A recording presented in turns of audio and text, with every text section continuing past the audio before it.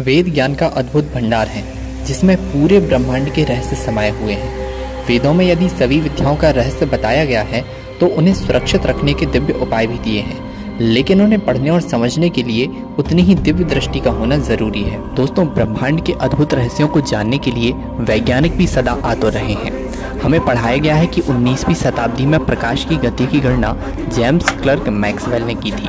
परंतु उनसे पहले ही चौदहवीं शताब्दी में महर्षि शायण ने ऋग्वेद के आधार पर प्रकाश की गति की गणना कर डाली वेदों में वर्णित ब्रह्मांड में छुपे ऐसे ही अनसुलझे रहस्यों की जानकारी लेकर हम आपके लिए ये वीडियो बना रहे हैं। तो वीडियो के अंत तक बने रहिए। दोस्तों, महर्षि शायण ने ऋग्वेद के आधार पर प्रकाश की गति की गणना की थी। और जो श्लोक आप अभी देख रहे हैं, उसका अर्थ होता है हे सूर्य, तुम तीव्रगामी एवं सर्व सुंदर तथा प्रकाश के दाता और जगत को प्रकाशित करने वाले हो। इसी पर भाष्य करते हुए महर्षि शायण ने लिखा था, तथा स्प्रति योजना नाम सहस्त्रम द्वे द्वे शते द्वे द्वेचा योजेने एकेन निमर्शाधीन क्रममाण नमोस्तु। इसका अर्थ होता है, आधे निमेश में 2202 योजन का मार्गक्रमण करने वाले सूर्य तुम्हें नमस्कार है। और ऋग्वेद में वर्णित इस श्लोक के आधार पर जब आधुनिक वैज्ञानिकों ने प्रकाश की गति का कैलकुलेशन किया तो वो कैलकुलेशन हाल ही में हुई खोजों के बिल्कुल बराबर था। दोस्तों, यजुर्वेद में लिखा है कि सूर्य स्थिर नहीं है।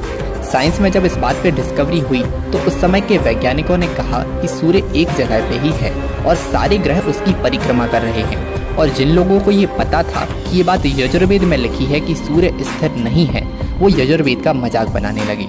धीरे धीरे साइंस और ज़्यादा डेवलप हुई और फिर एक डिस्कवरी हुई, जिसमें बताया गया कि सूर्य गैसों का एक पिंड है, जो कि हमारे वेदों में पहले से बता दिया गया था, और वो अपने ही अक्ष पर घूमता रहता है।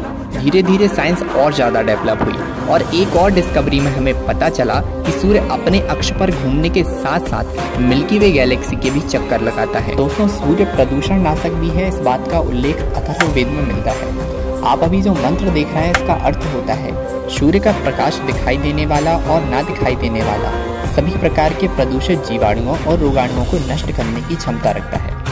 दोस्तों, हाल ही में साइंस ने हमें ये बताया कि सूर्य चंद्रमा को प्रकाश देता है, परंतु यह बात सदियों पहले हमें वेदों में, यजुर्वेद के एक मंत्र में देखने को मिलती है। दोस्तों, आप जो श्लोक देख रहे हैं, इसका अर्थ होता है, चंद्रमा का स्वयं का प्रकाश नहीं है। वह पृथ्वी का एकमात्र उपग्रह है और वह सूर्य की किरणों से प्रकाशित होता है। दोस्तों, हमें ये पढ़ाया जाता है कि नासा और आज के आधुनिक वैज्ञानिकों ने हमें ये बताया था कि सूर्य सौरमंडल के केंद्र में स्थित है और सभी ग्रह उसकी परिक्रमा कर रहे हैं। परंतु अगर आज भी हम किसी हिंदू मंदिर में चले जाएँ, जहाँ पर नवग्रहों की स्थापना हो तो नवग्रहों में सूर्य सबसे केंद्र में ही देखने को मिलता है। विज्ञान से भी कई सदियों पहले चार वेदों ने इस बात की पुष्टि कर दी थी कि सूर्य ऊर्जा का एक विशाल स्रोत है।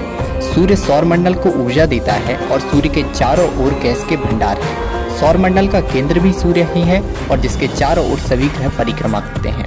ब्रह्मांड में अनेकों सूर्य होने की बात का प्रमाण ऋग्वेद में वर्णित इस मंत्र द्वारा मिलता है और ये मंत्र है, सप्त दिशो नाना सूर्य, देवा आदित्य ये सप्ताह यानी सूर्य अनेक है। और यहाँ सात सूर्य से तात्पर्य सात सौर मंडल से है। लेकिन विज्ञान ने अभी तक एक ही सौर मंडल को खोजा है।